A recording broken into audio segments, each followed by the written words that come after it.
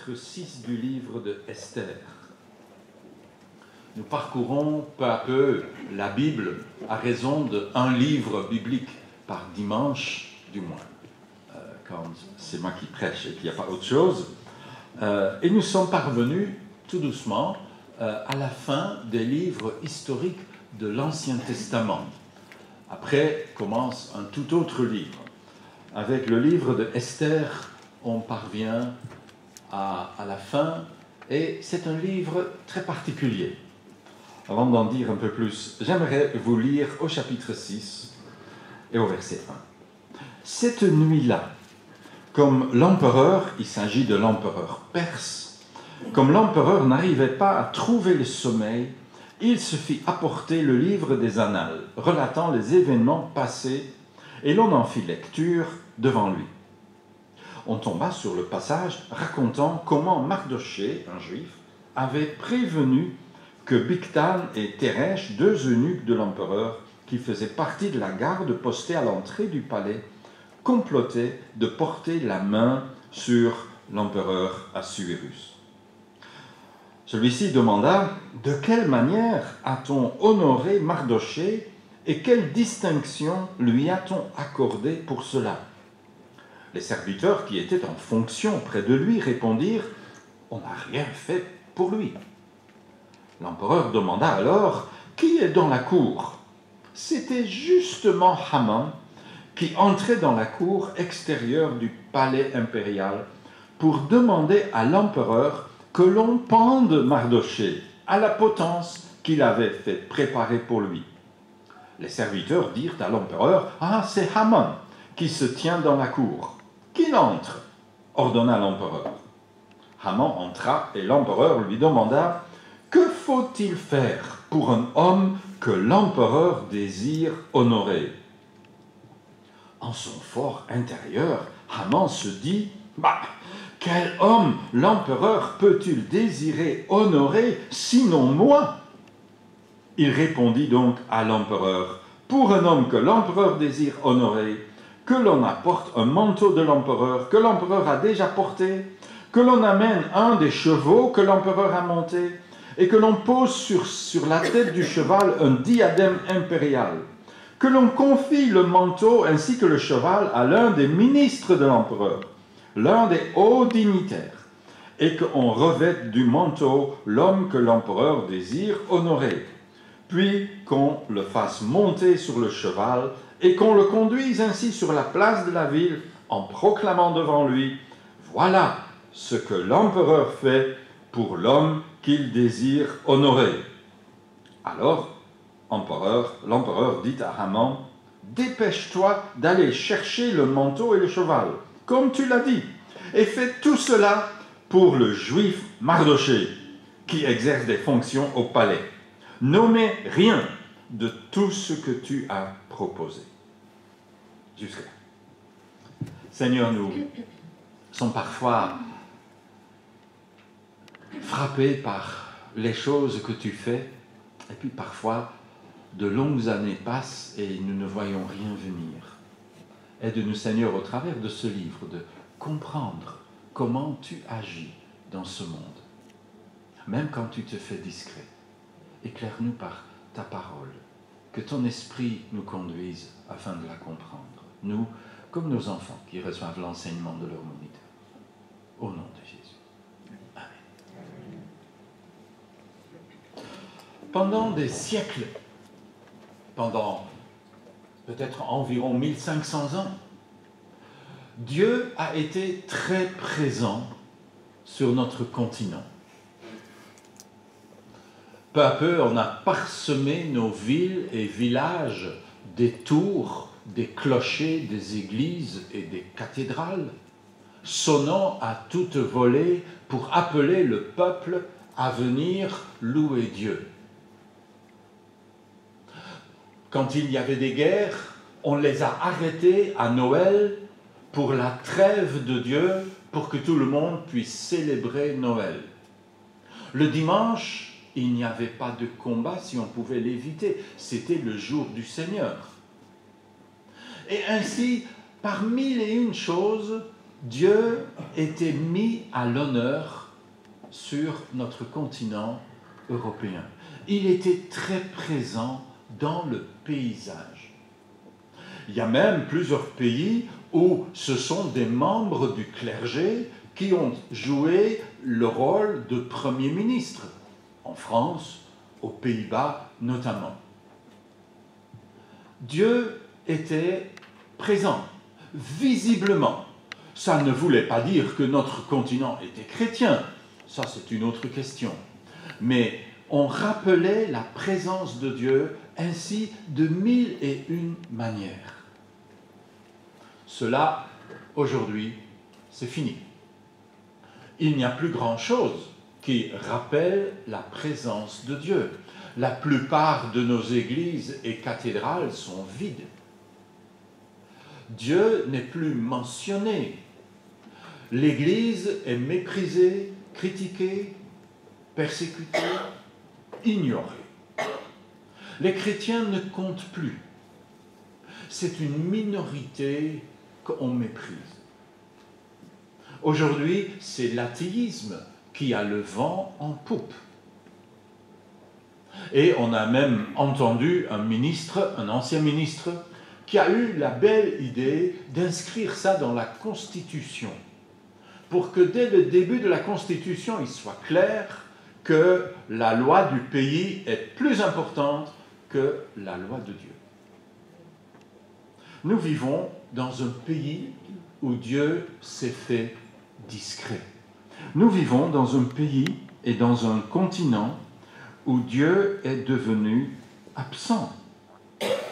Ce fut la même chose au temps de Esther et de Mardoché dans l'Empire perse, qui était la puissance dominante de ce temps-là. Nous sommes autour de 500 avant Jésus-Christ. Dieu n'était plus en évidence. Les Juifs n'étaient pas respectés, ils étaient méprisés. Ils comptaient pour rien. Ce livre va nous raconter comment on a développé un projet pour exterminer tous les juifs de l'Empire. Et ça ne faisait ni chaud ni froid aux hautes sphères de la société. Dieu n'était plus là. Je pense à un des prophètes qui, décrivant cette période, en l'annonçant, écrit Reviens pour l'amour de tes serviteurs et des tribus qui t'appartiennent.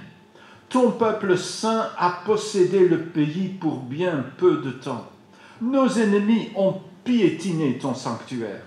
Nous sommes depuis bien longtemps comme des gens sur qui tu ne régnerais pas, qui ne porteraient pas ton nom. Ah, si seulement tu déchirais le ciel et si tu descendais. Ou pensez aux paroles du psalmiste qui est dans une humeur extrêmement déprimante et qui dit, Dès que je pense à Dieu, je me mets à gémir. Et quand je réfléchis, je perds tout mon courage. Quand je veux m'endormir, tu me tiens en éveil. Me voici dans le trouble. Je ne sais plus que dire. Je, je songe aux jours passés, aux années d'autrefois. J'évoque mes cantiques au milieu de la nuit.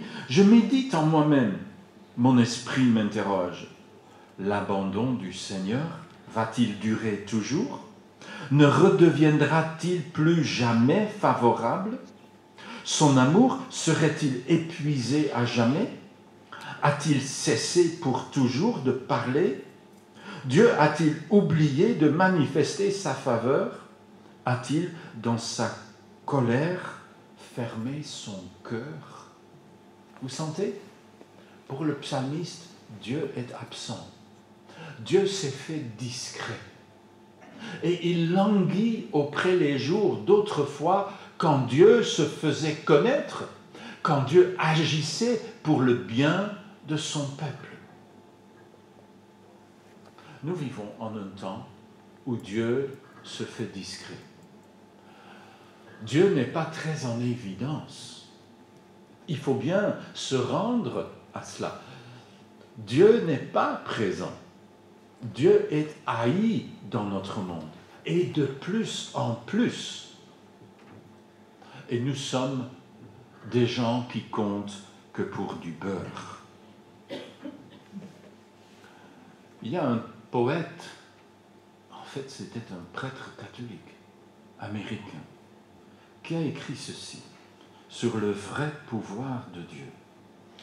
Il s'habille si curieusement d'absence, comme s'il n'y a pas de Dieu. On le voit le moins quand toutes les puissances du mal se pavanent devant nos yeux.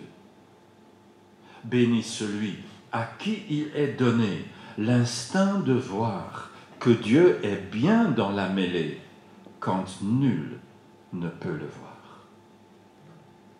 Ça, c'est le livre de Esther. Est-ce que Dieu est absent? Oui et non. Oui, visiblement, il n'est plus là. Ce sont les païens qui règnent. Et pourtant, il n'est pas absent. Oui, il est absent du livre. Ce curieux livre de Esther, le nom de Dieu n'y est pas mentionné, ne fût-ce qu'une seule fois. C'est un livre sans Dieu. Mais non, ce n'est pas un livre sans Dieu. Dieu est ô combien présent, encore davantage quand nous pensons qu'il ne l'est pas. Il y a comme ça des moments dans la vie où on a l'impression que Dieu nous a tourné le dos, que rien ne se passe, ou plutôt que tout se passe mal, et que Dieu ne répond à aucune de nos prières. Dieu ne semble plus être là. Le livre d'Esther est une de ces périodes. Tout d'abord, ce livre nous décrit dans les premiers chapitres comment le peuple de Dieu subit les choses. Parce que c'est comme ça. C'est comme ça aujourd'hui. On subit les choses. Demandez aux chrétiens dans les multiples pays où l'Église est persécutée à feu et à sang. On subit.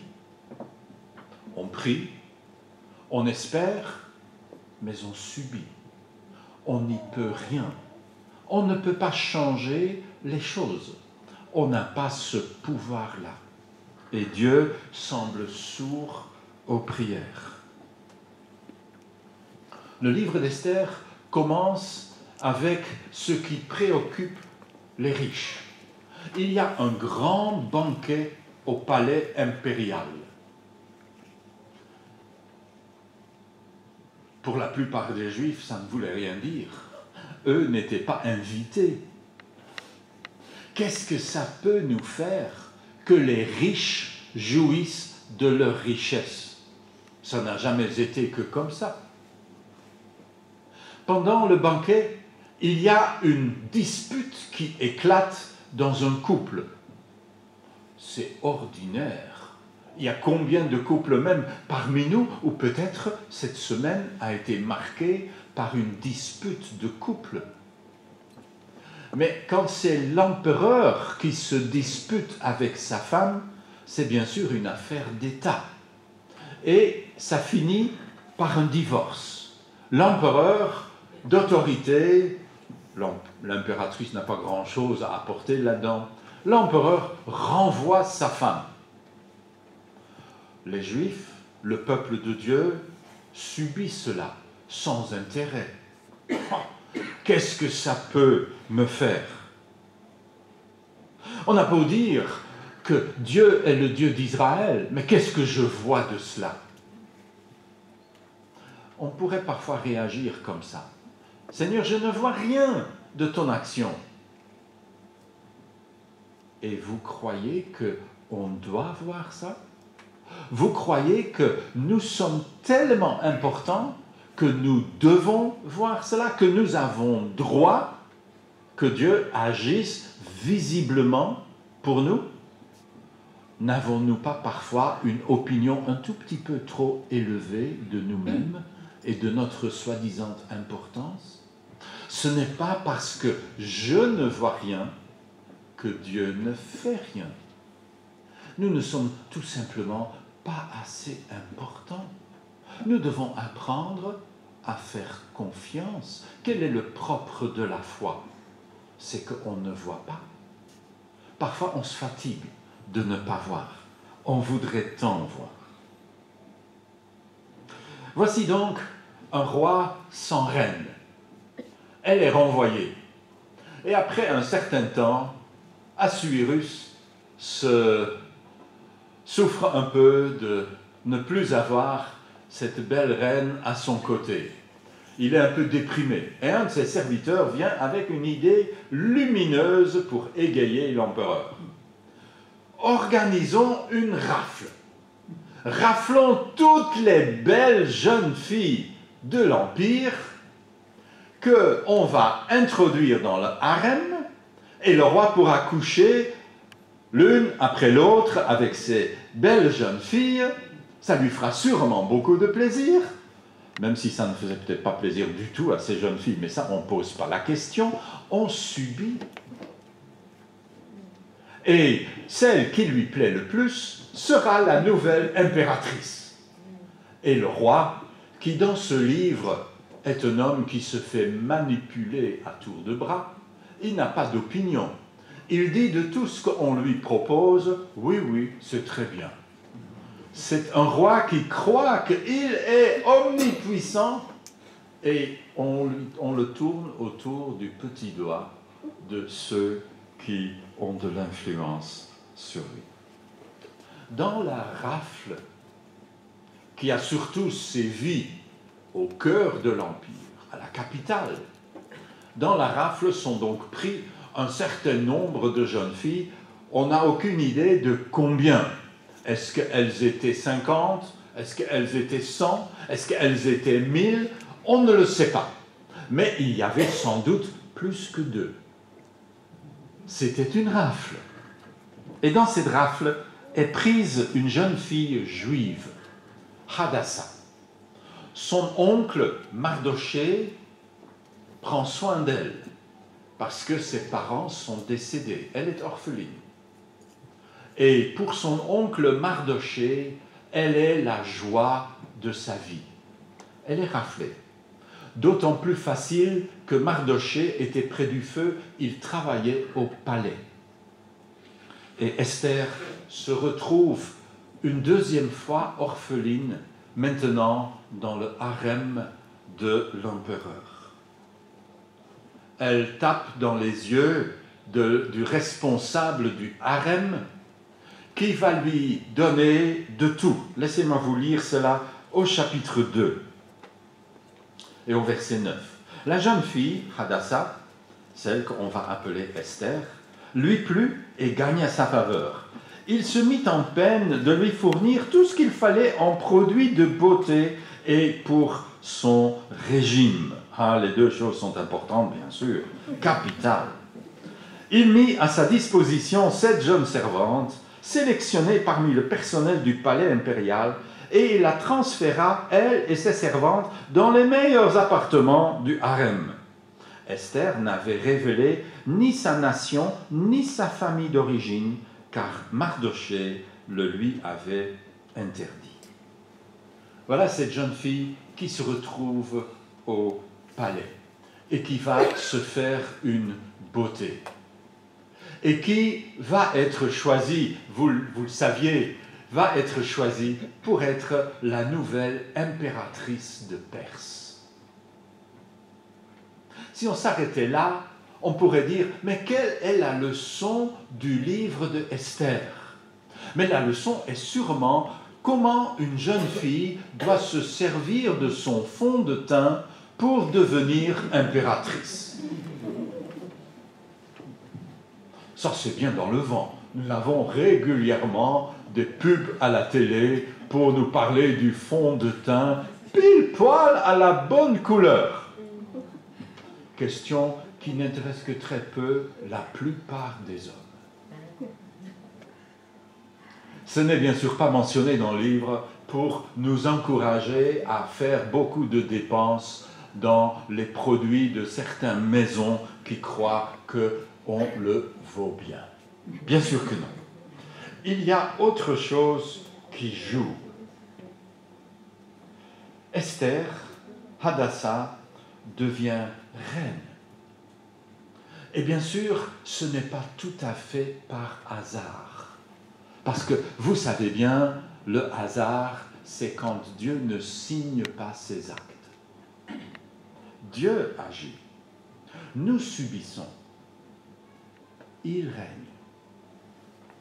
Nous subissons, mais Dieu est sur le trône. Il détermine ce qui se passe. Il est le chef.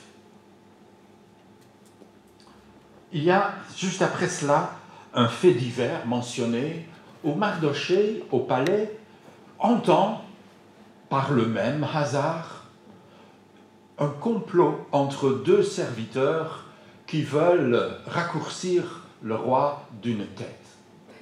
Il le fait dire à sa bien-aimée Esther, qui maintenant est reine, qui va le souffler dans l'oreille de son bien-aimé, je n'en sais rien s'il était très bien-aimé, mais dans l'oreille de l'empereur. Les deux serviteurs sont arrêtés et on ne parle plus d'eux parce qu'ils ne sont plus de ce monde.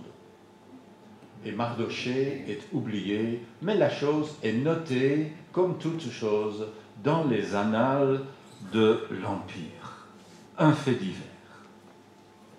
Entre-temps, c'est le chapitre 3, vient au pouvoir comme Premier ministre un certain Haman. Haman est un Amalekite. Nous les rencontrons dès le livre de l'Exode comme le peuple qui est ennemi de génération en génération au peuple d'Israël. Haman, descendant lointain du roi Agag d'Amalek, Haman est devenu vizir, premier ministre dans l'Empire. Un parvenu, un homme qui était convaincu surtout d'une seule chose, combien il était beau et important. Ça tourne autour de moi. Et il savait tourner l'empereur autour de son petit doigt. Ainsi, il lui avait proposé que ce serait bien qu'on respecte le Premier ministre en se prosternant dans la poussière chaque fois qu'il passait. Et l'empereur issu cet ordre et tout le monde, bien sûr, se rend à l'évidence quand l'empereur commande, pour ta santé future, c'est plutôt bien d'obéir. Tous, sauf un, Mardoché. Mardoché refuse de se rendre à l'évidence, au point que ses collègues lui, demandent Mais pourquoi désobéis-tu à l'ordre de l'empereur? Mardoché leur dit que c'est parce qu'il est juif. C'est à cause de sa foi. Il ne se couchera pas dans la poussière devant un parvenu. Respecter le roi, pas de problème. Mais respecter le n'importe qui, le premier kidam qui sait euh, se, se monter jusqu'à devenir Premier ministre, Mardoché dit, il n'en est pas question. Et cela, vous imaginez bien, est raconté à Haman. Vous aurez toujours des gens qui vont raconter tout pour vous abaisser parce que ça fait un concurrent en moins. Et Haman apprend que ainsi c'est un juif qui est en travers de son chemin. Quand tout le monde se couche dans la poussière, il y en a un qui reste raide comme une règle. Haman aurait sans doute dit raide comme une épine dans son pied. Mardoché. Shtoré. Ça, c'est Haman. Et Haman conçoit un projet parce qu'il est un peu abattu par cette résistance et c'est sa femme. Ah, ce livre est un livre sur le mariage. Que ne ferait-on pas pour avoir une femme intelligente? Une femme intelligente n'est-elle pas un don de Dieu, disent les proverbes? Ah, Haman aurait pu souscrire à cela.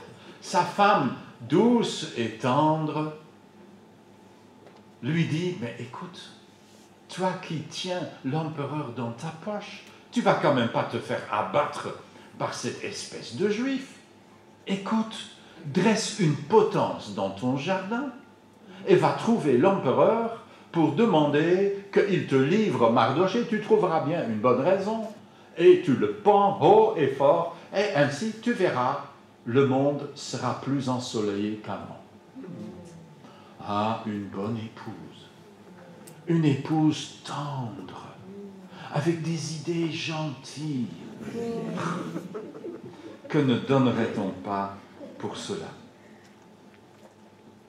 Et ainsi fait. Il dresse une petite potence dans son jardin, 30 mètres de haut. Comme ça, on pouvait voir. Plus tu es important, plus tes potences doivent être hautes. C'était sans doute la, la doctrine de Haman. Et puis, il, il va trouver l'empereur. Voyez, on subit ce genre de d'idiots, ce genre de méchants. Ils, ils sont encore aujourd'hui de ce monde. Des gens qui veulent à tout prix la perte de ceux qui aiment Dieu. Parce que Haman va ajouter une petite mesure. Ça ne lui suffit pas de supprimer Mardoché, un juif. Eh bien, on va exterminer tous les juifs. Comme ça, il n'y a plus jamais un qui sera au travers de notre chemin. Notre, c'était bien sûr la façon que Haman parlait de lui-même, au pluriel. C'est la crise qui éclate. L'empereur, l'empereur ne va pas dire à Haman, écoute Haman, ça c'est quand même un peu fort de café. Non, non, non, l'empereur dit, oui, voilà, voilà mon anneau, tu peux signer et c'est bon. Et ça devient une loi des Mèdes et des Perses. Selon l'habitude de l'Empire, une loi irrévocable. Même l'empereur, s'il voulait, ne pourrait rien y changer. Le sort des Juifs est scellé.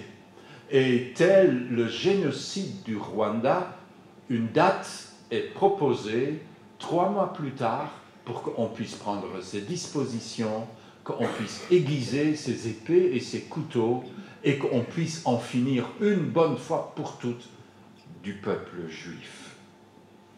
Et nous dit à la fin du chapitre 3, l'empereur et Haman s'installèrent pour boire, tandis que dans la ville de Suse régnait la consternation.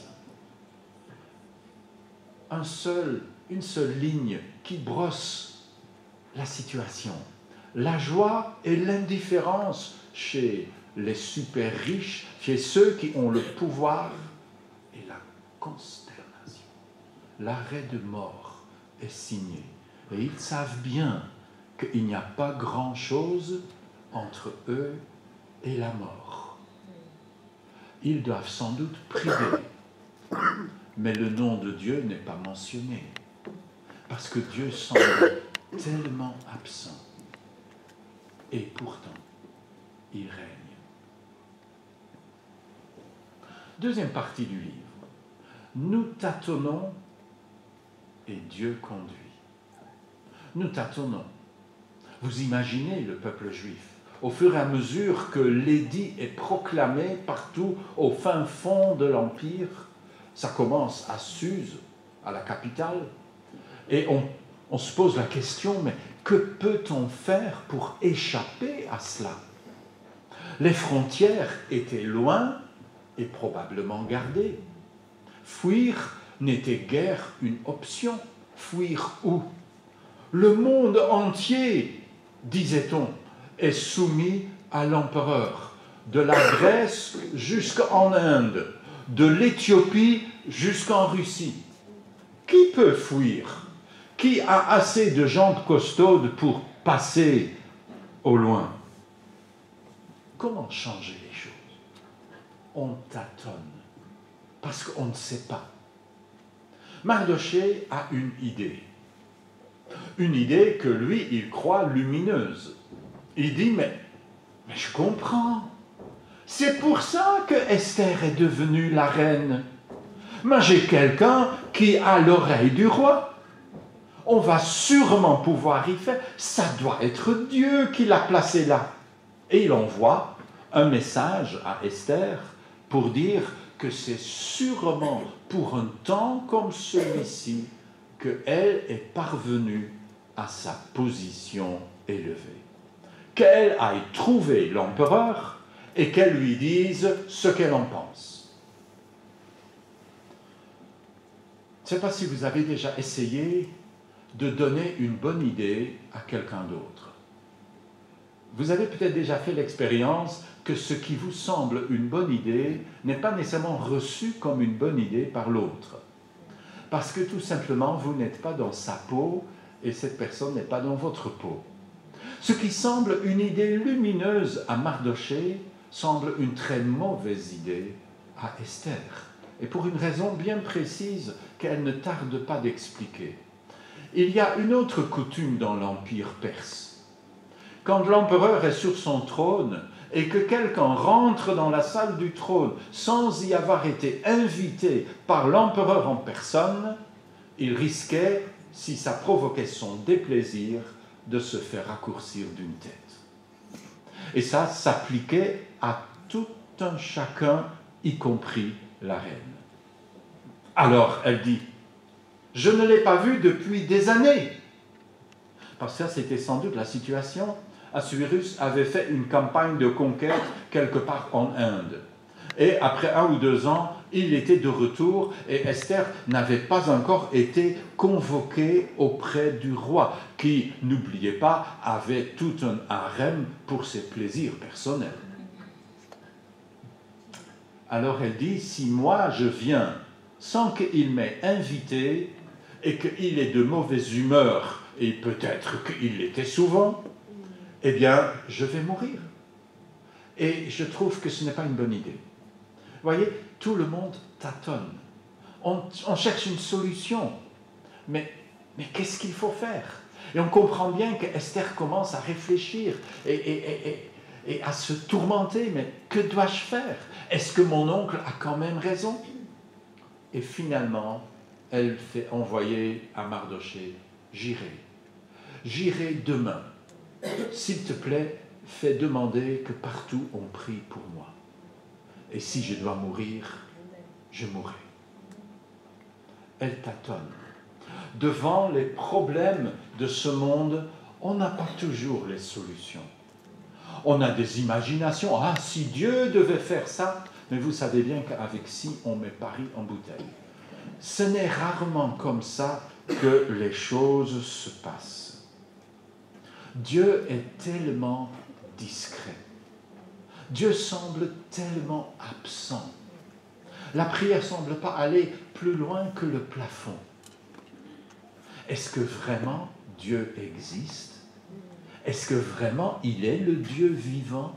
Est-ce que finalement les histoires du passé, ce n'est pas des légendes, comme les païens nous le disent Vous voyez, entre-temps, chez Haman, tout va bien. Tout semble lui sourire. Quand Esther pénètre chez le roi et que le roi lui tend son sceptre pour dire quelle belle surprise de te voir. ça va. Et elle n'a, elle n'a de présence d'esprit que de lui dire, Sire, j'aimerais j'aimerais t'inviter pour venir manger chez moi dans mon palais. Et s'il te plaît, est-ce que tu pourrais inviter Haman également? Haman qui est présent, sans son cœur gonflé, il dit Waouh, je vais être invité chez la reine, la toute belle Esther.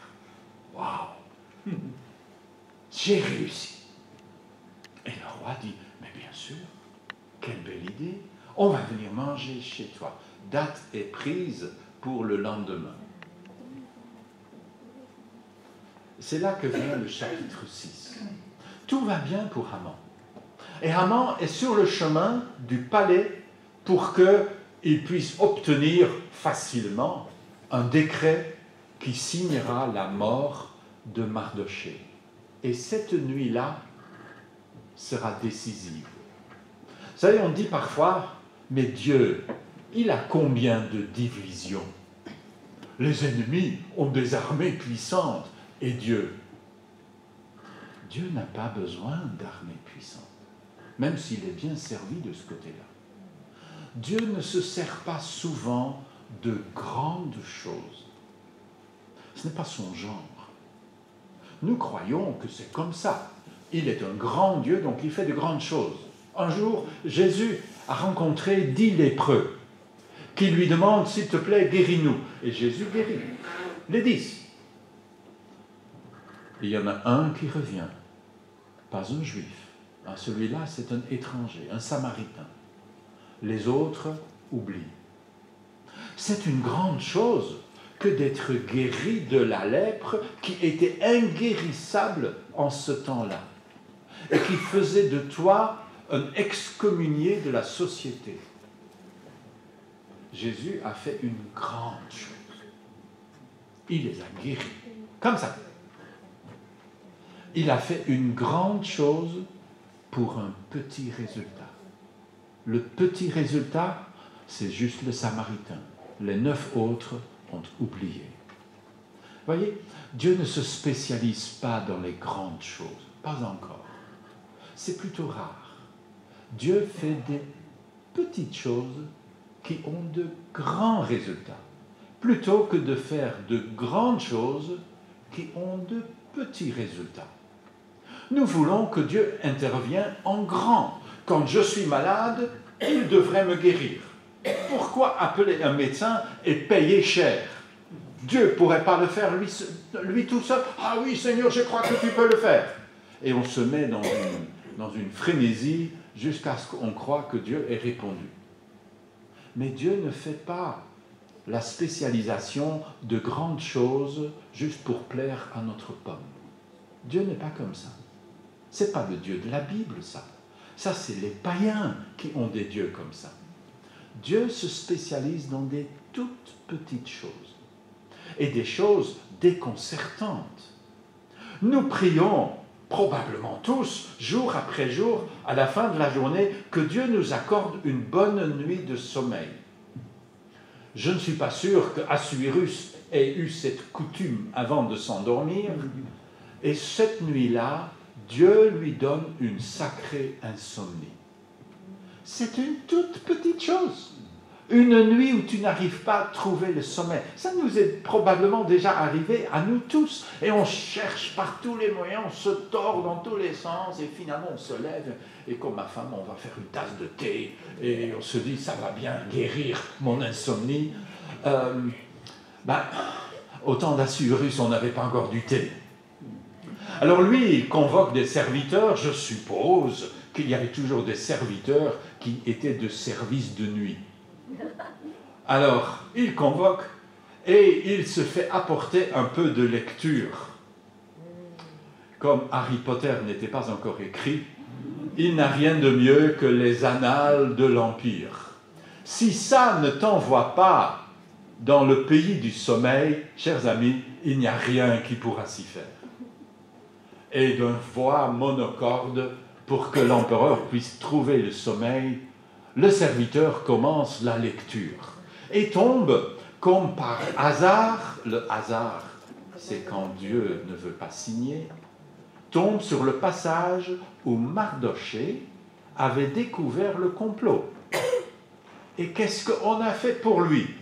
Que dalle. Rien. On l'a oublié. Là, le roi est réveillé, mais vraiment réveillé.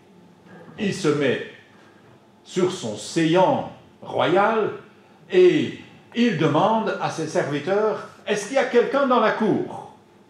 Il est sans doute le petit matin. Et voilà justement Haman. Haman qui arrive, suite au conseil de sa chère et tendre, de faire pendre Mardoché. La potence, 30 mètres de haut, est déjà dressée. Et il est fier de lui-même et un tout petit peu fier de sa femme pour cette belle idée. Cette nuit-là, une insomnie. Le bon livre à la bonne page. C'est tout. C'est une chose insignifiante. C'est rapporté nulle part, sauf dans la parole de Dieu, qui se glorifie des petits actes de Dieu qui ont de grands résultats. Et quand Haman vient, nous l'avons lu, il croit que l'homme que l'empereur veut honorer, ça ne peut être que lui. Il n'y a personne comme lui. Et celui qui s'élève sera abaissé. Et ça, c'est Haman.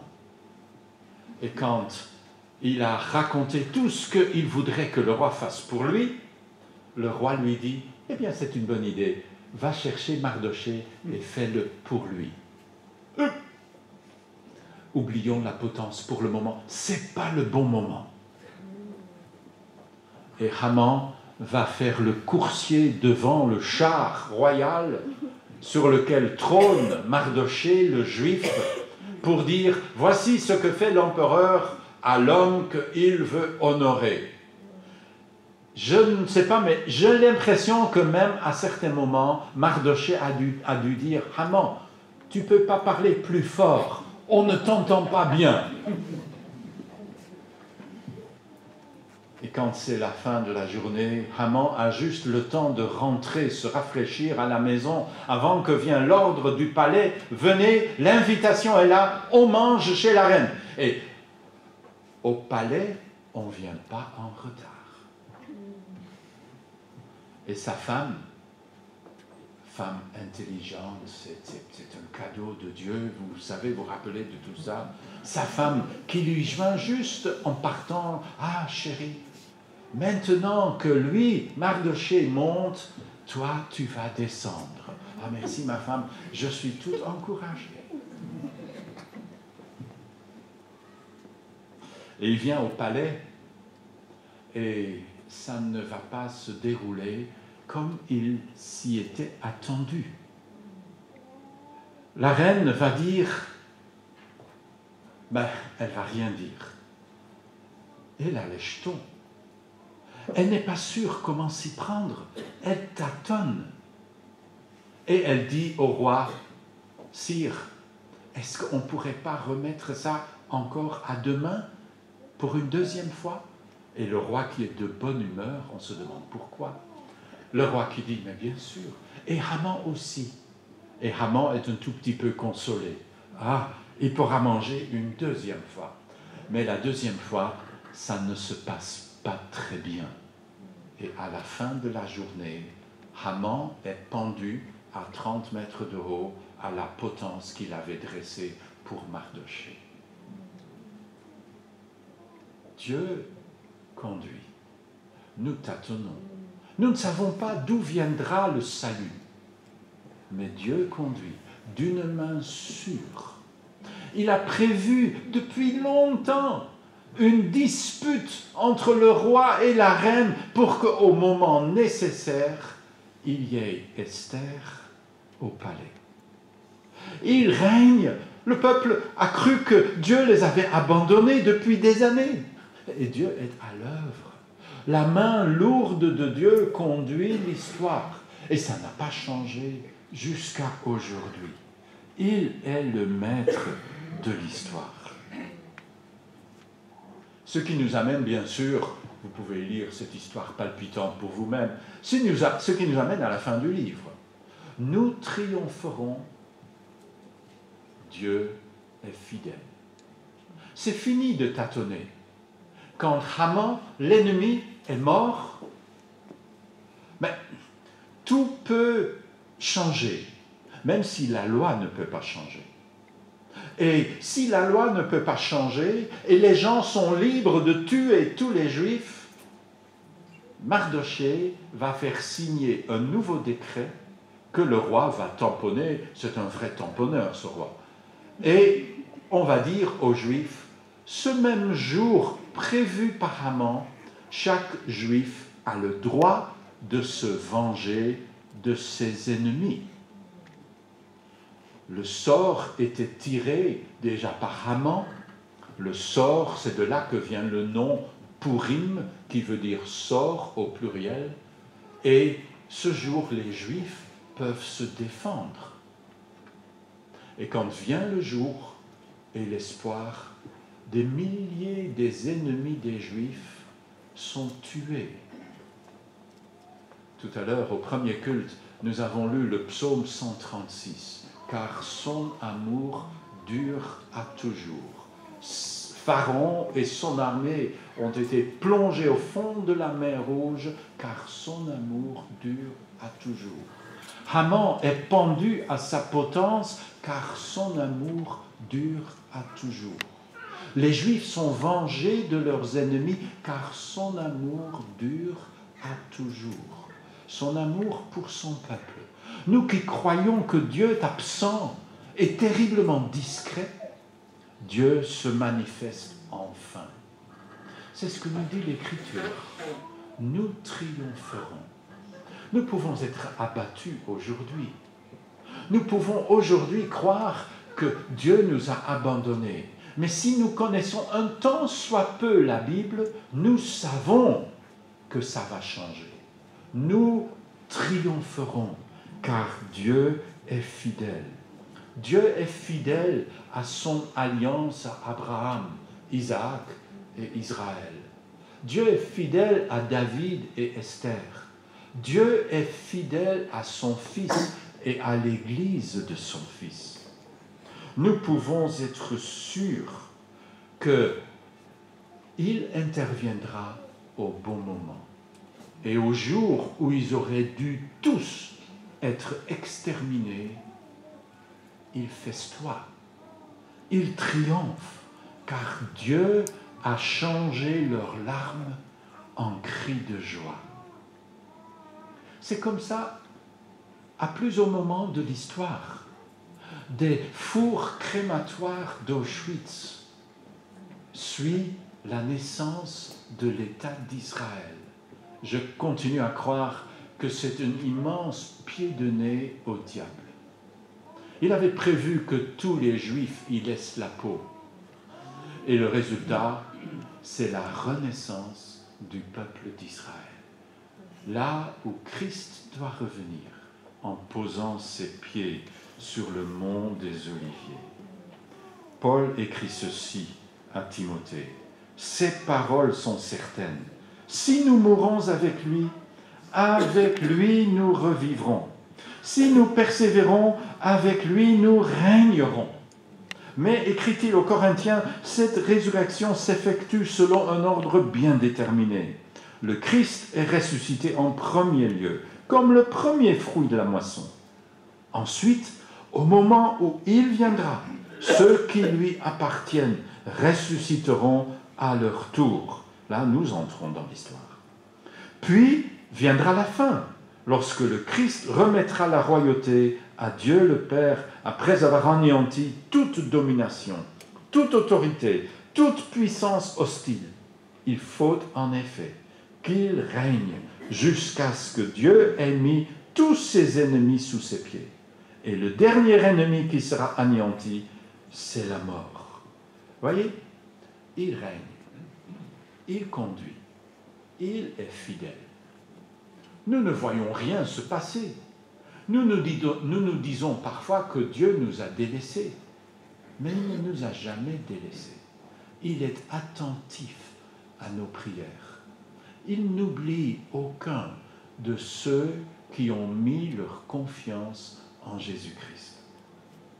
Nous sommes, comme a écrit quelqu'un, sur la frêle passerelle qui sépare hier et demain. Hier et ses menaces et demain et ses promesses. Nous sommes sur cette frêle passerelle et on a l'impression parfois que ça ne tient pas bien. Et on se dit, mais que va-t-il se passer? Comment allons-nous nous en sortir? Et nous essayons d'avancer tant bien que mal, comme cette Algérienne. Elle a été tuée à cause de sa foi chrétienne en Algérie. Et sur son corps, on a trouvé ce texte qui était sur le calendrier cette semaine. Et quand je l'ai lu, je me suis dit, voilà ce que je veux comme comme fin de mon message sur le livre de Esther. Il y avait écrit ceci. Dieu te le donne. Il est à toi. Vis-le en lui. Le jour de demain est à Dieu. Il ne t'appartient pas. Ne reporte pas sur le lendemain le souci d'aujourd'hui. Demain est à Dieu. Remets-le à lui. Le moment présent est une frêle passerelle. Si tu la charges des regrets d'hier ou de l'inquiétude de demain, la passerelle cède et tu perds pied. Le passé, Dieu le pardonne.